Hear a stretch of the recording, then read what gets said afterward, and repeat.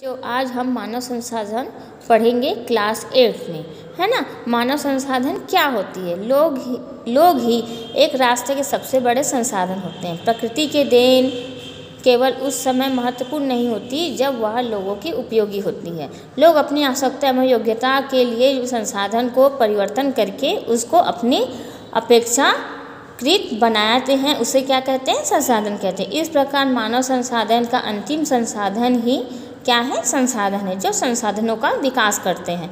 जैसे कि अभिप्रेत करना, स्वस्थ रहना, शिक्षित रहना, अभिप्रेरित करना कि लोगों को अपनी आवश्यकता के अनुरूप कार्य करना, ये सब क्या है? मानव संसाधन जो मानव निर्मित में किया जाता है। जैसे कि अन्य संसाधनों की भांति मानव संसाधन विश्व का समान रूप से विवरण किया जाता है। जैसे कि आयु, लिंग व एक दूसरे से भिन्न है, उनकी संख्या, लक्षण भी बदले जा सकते हैं, बदलते हैं। जैसे कि चित्र से डायग्राम से समझ आ रहा है, जैसे कि स्टार्टिंग में मेरे गाँव में एक हज़ार लोग हैं, मेरे विद्यालय में पाँच सौ बच्चे हैं। आपके विचार से विश्व में कितने लोग होंगे? ये हमारे दिमाग से मानव निर्मित कर रहा है है ना? संसाधन कर रहा है। मेरे कक्षा में तीस बच्चे हैं, विश्व में सब कम से कम छः दस छः दशमलव छः अरब लोग रहते हैं। एक अरब से भी कितने शून्य होते हैं, ये संख्या को आप हम कैसे लिखते हैं ये सब की जानकारियाँ मानव निर्मित से हो सकता है। अगला, अब है अगला टॉपिक जनसंख्या का वितरण। जैसे कि भूपृष्ठ पर जिस प्रकार के लोग फैले हुए हैं, उसे जनसंख्या वितरण का प्रतिरूप कहते हैं। जब भूपृष्ठ क्या है? हमारा पृथ्वी, जहाँ तक हमारी भूमि है, वहाँ से विश्व में जनसंख्या 90 परसेंट तक बढ़ा हुआ है, फैला हुआ है। जैसे कि लगभग भू पर, भूपृष्ठ मतलब पृथ्वी में हमारे लगभग 30 परसेंट भाग का ही निवास करते हैं और विश्व की जनसंख्या, वितरण अत्यंत असमान है। कुछ क्षेत्र बहुत घने हुए, बसे हुए हैं, जो विरल बसे हुए हैं।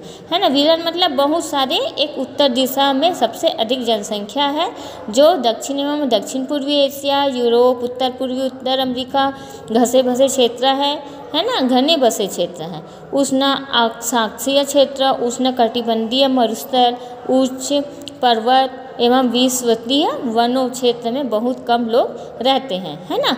जब से विश्वत वृत्त के दक्षिण की अपेक्षा विश्वत वृत्त के उत्तर में बहुत अधिक लोग रहते हैं मतलब बहुत अधिक जनसंख्या निवास करते हैं। विश्व में कुल जनसंख्या का लगभग तीन चौथाई भाग में लोग दो महाद्वीप एशिया एवं अफ्रीका रहते हैं और विश्व के 60 परसेंट लोग केवल 10 देशों में ही रहते हैं। इन सभी देशों को 10 करोड़ से भी अधिक लोग रहते हैं, निवास करते हैं। जैसे कि एशिया में ये डायग्राम से मालूम चल रहा है, देखो, विश्व के प्रत्येक सौ लोगों में, सौ लोग में एशिया में रहते हैं, इतना यूरोप में रहते हैं, अफ्रीका में रहते हैं। जैसे कि ये चित्र से कलर के कलर के डायग्राम से बताया गया है है ना? जैसे कि ये एशिया में रहते हैं। एशिया में कितने रहते हैं? ये देखो। बहुत सारे लोग रहते हैं। यूरोप में गिने चुने। है ना? अब अफ्रीका में रहते हैं। देखो, पर्पल कलर के लोग इतने। अब मध्य एवं दक्षिण अमेरिका में रहते हैं। नीला, ये देखो, आधा इधर बटा हुआ है, आधा इधर बटा हुआ मध्य एवं दक्षिण अमेरिका में। अब उत्तर अमेरिका में रहते हैं, उत्तर अमेरिका में कौन सा है? रेड। देखो, चार पाँच फ़ीसदी ही रहते हैं मतलब बहुत जनसंख्या कम है। अब है ओनसेनिया, और मतलब ब्रैकेट में ऑस्ट्रेलिया, न्यूजीलैंड और प्रशांत द्वीप द्वीप समूह में रहने वाले की जनसंख्या ग्रीन। ग्रीन में बस कितने हैं? एक एक भी हिस्सा, एक भाग में कोई रह गया तो बहुत है है ना? जैसे कि महाद्वीपों के अनुसार विश्व की जनसंख्या के बारे में चित्र के अनुसार दर्शाया गया है। अब ये डायग्राम भी देखिए आप। विश्व की घनी आबादी वाले देश विश्व की रूपरेखा मानचित्र में इन देशों का चिन्ह किया गया है। जैसे रेड, है ना, जनसंख्या मिलियन में। अब ये जनसंख्या मिलियन में भारत में सबसे ज़्यादा जनसंख्या है, चीन में सबसे ज़्यादा जनसंख्या। चीन के बाद सेकंड नंबर में भारत, उसका USA Indonesia Brazil Pakistan Bangladesh Nigeria रूस एवं जापान में जनसंख्या वितरण है। अब है जनसंख्या का घनत्व। जनसंख्या घनत्व मतलब है पृथ्वी की पृष्ठ को एक इकाई का क्षेत्र में रहने वाले लोगों की संख्या को जनसंख्या के घनत्व को कहते हैं। जैसे कि प्रति लोग किलोमीटर के व्यक्त किया जाता है संपूर्ण विश्व में, औसत जनसंख्या घनत्व क्या है? इक्यावन परसेंट है, जो वर्ग किलोमीटर के अंतर्गत आता है। सबसे अधिक जनसंख्या कहाँ है? घनत्व दक्षिण मध्य एशिया में निवास करते हैं। इसके बाद पूर्वी एशिया और दक्षिण पूर्वी एशिया में निवास करते हैं। अब देखो, जनसंख्या के वितरण को प्रभावित करने वाले कारक। कारक मतलब घटक, है ना? जैसे कि भौगोलिक कारक। भौगोलिक कारक में क्या है? स्थलकृति आ गया, जलवायु आ गया, मृदा आ गया, जल आ गया, खनिज आ गया और क्या है? भौगोलिक कारक में। उसके आगे क्या है? आर्थिक कारक है। तो भौगोलिक कारक के अंतर्गत हम लोग देखते हैं, जैसे कि स्थलाकृति। लोग सदैव पर्वत पर्वत एवं पठारों की तुलना मैदानी भागों में रहना पसंद करते हैं, है ना? ज़ाहिर सी बात है, हम रहना, अच्छी जगह रहना चाहते हैं, अच्छी विकसित हो, हमें विकास मिले, इस जगह में हम रहना चाहते हैं। जैसे कि विकास के लिए, क्षेत्र के लिए, के, खेती, विनिर्माण, सेवा क्रियाओं के लिए उपयुक्त स्थान, गंगा मैदान विश्व के सबसे अधिक घने बसे हुए क्षेत्र है, जिसमें एंडीज आल्फस और हिमालय जैसी पर्वत बसे हुए हैं, है ना? जलवायु। लोग सामान्य रूप से जलवायु में अत्यधिक गर्म एवं अत्यधिक ठंडी, जैसे सहारा, मरुस्थल, रूस ध्रुवी प्रदेश, कनाडा अंटार्कटिक में रहने से बचते हैं। क्यों बचते हैं? क्योंकि वहाँ ठंडी है, मरुस्थल है। कभी भी कुछ भी तूफ़ान आ सकता है, कभी भी कुछ भी हो सकता है, इसलिए वहाँ रहना बहुत कम पसंद करते हैं। मृदा मतलब ज़मीन, उपजाऊ ज़मीन मतलब उपजाऊ मिट्टी के कृषि के लिए उपयुक्त भूमि प्रदान करती है। भारत में गंगा, ब्रह्मपुत्र, चीन एवं हवांग ही। चांग, जियांग एवं मिस्र में नील नदी उपजाऊ मैदान घने बसे हुए क्षेत्र हैं।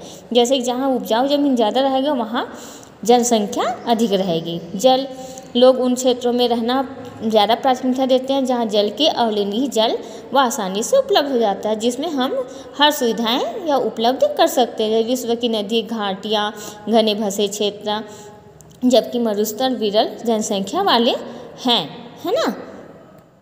अब हो गया खनिज। खनिज वाले क्षेत्र में अधिक बसे हुए रहते हैं, क्योंकि दक्षिण अफ्रीका में हीरे की खाने हैं, मध्य पूर्व में तेल की खोज हुआ है। इन क्षेत्रों के लोग में रहने के लिए ज़्यादा प्रेरित करते हैं, क्योंकि उनको काम करने का, कार्य करने को प्रेरित किया जाता है अपना आवक अत्यधिक बढ़ाने के लिए, है ना? ये क्या है? खनिज के। पहला पढ़ लिए, भौगोलिक कारक में स्थलाकृति जलवायु, मृदा और जलवायु खनिज। अब है सामाजिक सांस्कृतिक एवं आर्थिक कारक के अंतर्गत आर्थिक कारक सांस्कृतिक कारक सामाजिक कारक। आर्थिक कारक क्या है? औद्योगिक क्षेत्र में रोज़गार के अवसर प्रदान करना, लोगों की बड़ी संख्या में इन क्षेत्रों की आकर्षित करना और जापान, अमेरिका, मुंबई व मुंबई दो घने व्यसे क्षेत्र हैं। सांस्कृतिक कारक में धर्म एवं संस्कृति का महत्व भी स्थान लोगों को आकर्षित करता है। जैसे वाराणसी हो गया, एलुसेलम हो गया व्यक्तिन हो गया, सिटी, ये सभी में रहने वाले उदाहरण हैं, है ना? सामाजिक कारक अपने आवास शिक्षा, स्वास्थ्य, सुविधा भी क्षेत्र भी अत्यधिक घने बसे हैं, जिसमें उदाहरण के लिए पूना है है ना? जहाँ सब सुविधाएँ रहेगी, वहाँ जनसंख्या अधिक रहेगी। जनसंख्या में परिवर्तन कब हुआ? छः दशमलव तीन पर हम चित्र के हिसाब से आगे देखेंगे, है ना? वैसे कि जन्म एवं मृत्यु की संख्या परिवर्तन के कारण हुआ, है ना? मानव इतिहास की लंबी अवधि में सन 1800 में विश्व की जनसंख्या धीरे धीरे बढ़ी और बढ़ी जब से सब बच्चे जन्म लेते गए और शीघ्र ही उनकी मृत्यु भी होती जाती गई। इसलिए क्योंकि वहाँ उचित स्वास्थ्य सुविधाएँ नहीं थी। सभी लोग पर्याप्त भोजन उपलब्ध नहीं था। किसान सभी लोगों को भोजन की आवश्यकता पूरा करने के लिए सक्षम नहीं थे। परिणाम स्वरूप क्या हुआ? वृद्धि कम हो गई। उसके बाद अठारह में विश्व जनसंख्या एक अरब हो गई। 150 वर्ष बाद एक सौ उनसठ, उन्नीस सौ उनसठ विश्व की जनसंख्या तीन अरब पहुँच गई। इससे प्राय जनसंख्या विस्फोट कहते हैं। ठीक है, क्या करते हैं? जनसंख्या विस्फोट अचानक ही जनसंख्या में वृद्धि होने लगी। सन उन्नीस सौ निन्यानवे में 30 वर्ष की अवधि में कम से कम जनसंख्या दुगुनी से छः अरब हो गई और इस वृद्धि के मुख्य कारण खाद्य आपूर्ति या औषधि के कारण मृत्यु दर कम होना लगा, होने लगा, है ना? जन्म दर अभी तक बहुत अधिक रही। उसके बाद मृत्यु दर कम होने गई इससे जनसंख्या में वृद्धि हो गई। जन्मों के साधारणतः जन्म दर का आंका गया तो जन्म दर के अति प्रति एक हज़ार व्यक्तियों के जीवित जन्मों की संख्या मापा गया तो मृत्यु दर की प्रति इकाई एक हज़ार व्यक्तियों के मृतकों की संख्या मापा जाता था और इस क्षेत्र को विशेष रूप में लोगों को आने जाने का प्रवास कहने लगे। जन्म मृत्यु की जनसंख्या घनत्व के रूप में प्राकृतिक कारण किया गया और इस देश में जन्म दर की मृत्यु दर के बीच में अंतर, प्राकृतिक वृद्धि दर किया गया और इस चित्र के हिसाब से आप ये जनसंख्या दर घनत्व धीरे धीरे कितना से कितना मिलियन बढ़ गया, है ना?